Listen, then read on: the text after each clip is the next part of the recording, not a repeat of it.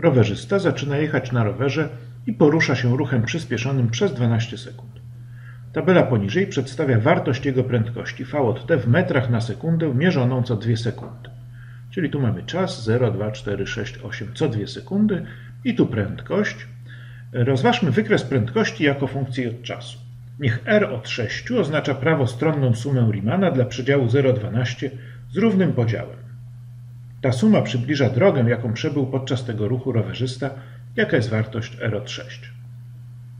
No dobrze, więc może tak, może najpierw narysujmy sobie wykres tej, tej funkcji, czyli to co, to, co, czyli znamy prędkość, prawda, prędkość od czasu, czyli w chwili, tutaj mamy przygotowany układ współrzędnych, no mamy tutaj nierówne osie, żeby może lepiej tutaj, nierówną skalę na osiach, prawda? Tutaj mamy dwa razy, dwa razy rozciągniętą w oś pionową. Teraz w chwili 0 mamy prędkość 0. Po dwóch sekundach mamy prędkość 2. Po 4 sekundach mamy prędkość 2,5. Po 4 sekundach mamy prędkość 2,5. Po 6 sekundach no mamy prawie 3, 2,9, no to powiedzmy mniej więcej gdzieś tu. Po 8, 3 i 3, 3 i 3 to jest gdzieś powiedzmy tu. Po 10, 3 i 6, po 10 to jest przekracza 3,5. No i po 12, 3 i 7, czyli tutaj już prawda, bardzo powoli przyspiesza. Czyli to jest to, co to jest te dane, które mamy. No i teraz wykres możemy naszkicować co najwyżej, bo nie wiemy, nie znamy dokładnego przebiegu, ale wiemy, wiemy, że on porusza się ruchem przyspieszonym, czyli jego prędkość cały czas rosła. No to jakoś możemy naszkicować prawda, ten wykres jakoś prawda, w, ten, w ten sposób. To jest wykres prędkości od czasu. Dobrze, i teraz tak. Niech R od 6 prawostronną oznacza prawostronną sumę Riemanna. To co to jest taka prawostronna suma Riemanna dla przedziału 0,12 z równym podziałem? Czyli tak, dzielimy no 6, no właśnie, mamy, dzielimy ten przedział 0,12 na 6 równych części, to jest to napisane równym, na 6 równych takich krótszych odcinków i prawostronnej bierzemy wartości naszej funkcji w prawej w, prawej, w prawym końcu tego przedziału. Czyli te 6, to jest właśnie te końc, prawe końce to będą 2, 4, 6, 8, 10, 12 i bierzemy wartość funkcji właśnie w tych punktach, no, którą mamy daną. Czyli tak, y, to jest taki prostokąt bierzemy, to będzie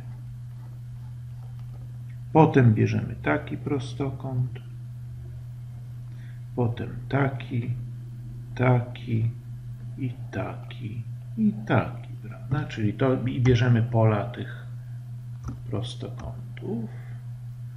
No i widzimy, że, y, że to, to jest jakieś tam przybliżenie, jakieś przybliżenie pola pod wykresem, prawda? Czyli, no i widzimy, że ponieważ bierzemy, bierzemy te prostokąty, ponieważ to jest funkcja rosnąca, tak, tak mamy powiedziane, prawda? Porusza się ruchem przyspieszonym, więc, y, więc prawe końce, wartość w prawym końcu odpowiada maksymalnej wartości funkcji na tym przedzie, na takim mniejszym przedziale, czyli widać, że te pola nam tutaj to mamy takie oszacowanie, przybliżenie z góry, prawda? Że suma tych pól, tych pól prostokątów no jest większa niż to pole pod wykresem. Gdybyśmy chcieli mieć lepsze przybliżenie, no to pewnie lepsze przybliżenie byśmy wzięli, na przykład moglibyśmy brać po środku wartość przez takie prostokąty, no to wtedy troszeczkę, prawda, one to z jednej strony troszkę wystają, a z drugiej strony jakby siedzą w tym polu. No dobrze, w każdym razie to jest to R od 6. Teraz wiemy, że pole pod wykresem prędkości reprezentuje nam drogę przebytą właśnie w tym ruchu. Czyli tutaj właśnie ta, ta suma przybliża nam drogę, jaką przejechał podczas tego ruchu rowerzysta.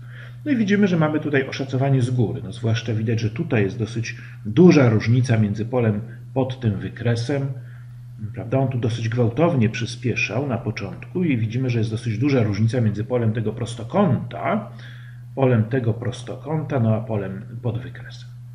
No dobrze, jaka jest wartość R od 6? No to musimy policzyć, prawda? R od 6 y, no to to jest właściwie tutaj, te dane nam mówią, prawda?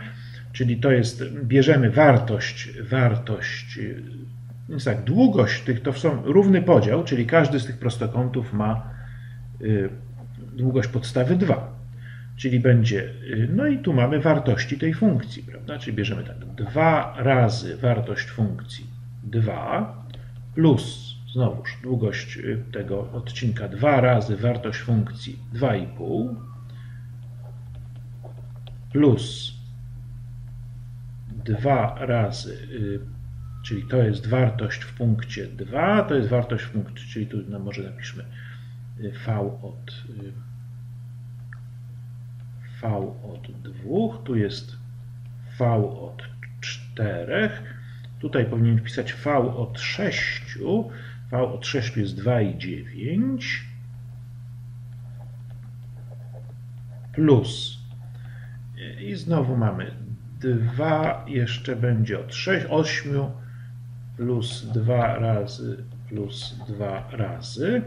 I teraz mamy tak, V od 8, V od 8, czyli 3 i 3, to jest V od 8, plus 2 razy 3 i 6, czyli to jest V od 10 i plus 2 razy 3 i 7 to jest V od 12. Dobrze, czyli to jest ta mm, prawostronna suma, suma Riemanna. Może teraz policzmy, ile to jest. Mm, to co? Tutaj możemy dwójkę wyłączyć, prawda? Wszędzie się powtarza dwójka.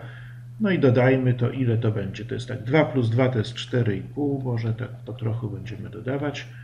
Mm, potem jest 3 i 3 i 3 i 7, to też się łatwo dodaje, bo to jest razem 7, a potem jest 2 i 9 i 3,5. To jak jedno zabierzemy, to mamy 3 plus 3,5 to jest 6,5. O. Wobec tego razem to jest 4,5 mm, i 6,5 to jest e, ile? 11 mm, plus 7, czyli 18 i 2 razy 18 to jest 36. Teraz 36 czego? To była tak, V od T to była prędkość w metrach na sekundę, czyli tutaj jest metry na sekundę. Czas był w sekundach, czyli jednostką tego są metry. Czyli to jest 36 metrów. To jest, to jest właśnie ta suma, sum, prawostronna suma Riemanna dla tego podziału.